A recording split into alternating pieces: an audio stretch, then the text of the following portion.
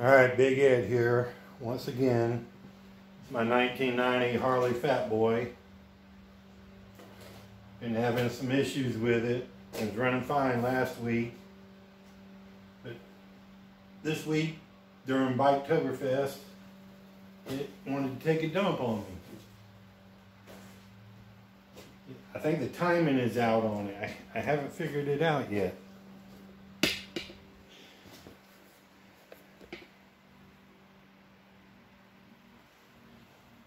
Between the timing and the damn uh, carburetor,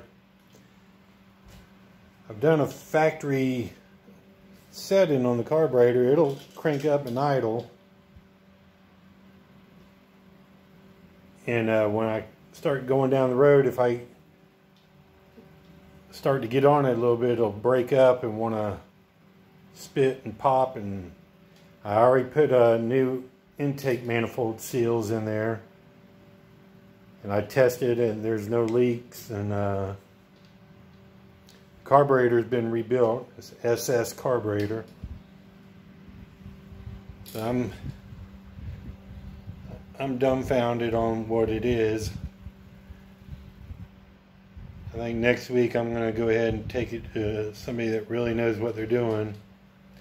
You know I put the new top end on it and a voltage regulator stator and stuff like that but when it comes to fine tuning it, I think that's all it needs is to be fine tuned. I don't have the skills yet. I'm still working on it. I'm learning as I go. And I know some of y'all out there probably saying that's not a gray ghost, but it is. It's 1990. Fat boy. Got the silver frame. These are supposed to be yellow these rocker stripes.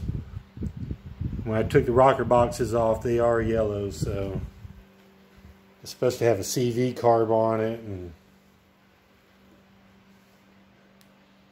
But so much of the original stuff was missing when I got it.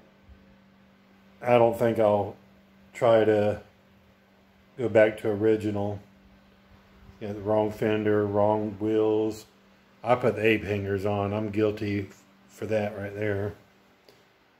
Um, all the stripes, the pin stripes and everything around the ignition. supposed to be one right around that ignition right there. These are supposed to be decals.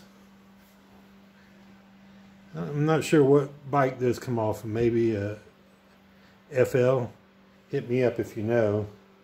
Don't forget to like and subscribe to my channel.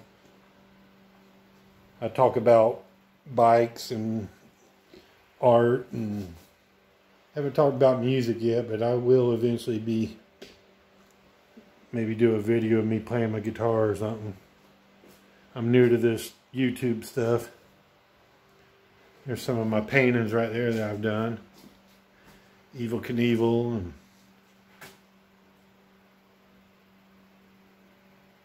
Elvis.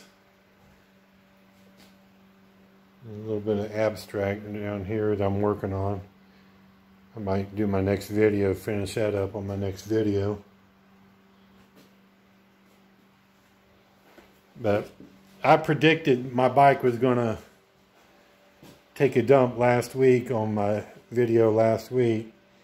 sure enough, she didn't let me down. It just doesn't want me to go to bike week ever.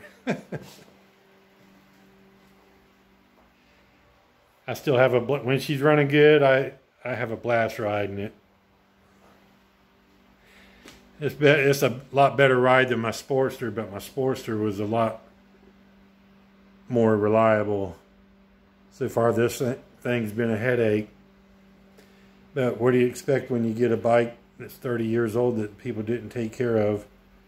I had to put all new oil, all the the head gasket and the base gaskets all blew.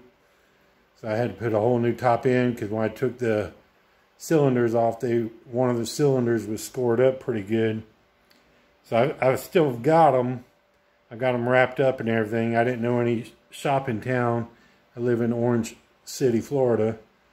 I didn't know any shops in town that uh, did honing. I think that's all they need to be is honed. Um, so I went ahead and got uh, cylinders from uh, J&P Cycles and uh, got new pistons and rings and so I did that and I went ahead and put a new stator on, new rotor, new voltage regulator, put all new oil hoses on it. I got new brake lines, new clutch cable, new uh, throttle cables. Because I put the ape hangers on there so you have to change all that. And then today, or actually yesterday, I put that new uh, ignition uh, timing switch right there, or sensor. And I've been farting around with that, trying to time it. There's another thing back in, in the back there, behind the carburetor. They call it a, a vacuum operated electrical switch. I think that's what it's called. There's a vacuum hose that goes right there, if you can see it, back to the back to the back and hooks onto that VOES switch or and that has something to do with timing. So I'm wondering if maybe that's my problem. Because the bike bike was running great last week. Anybody got any tips let me know but I, I'm pretty sure I'm going to end up taking it to the shop and try to get it taken care of once and for all. Because it's been whooping my butt. Well, that's going to be it for right now. Don't forget to like and uh, subscribe to my channel if you like it. I appreciate it. I need need to get some more people hooked up on here. Still learning how to do this. Anyways, peace out. Ride safe.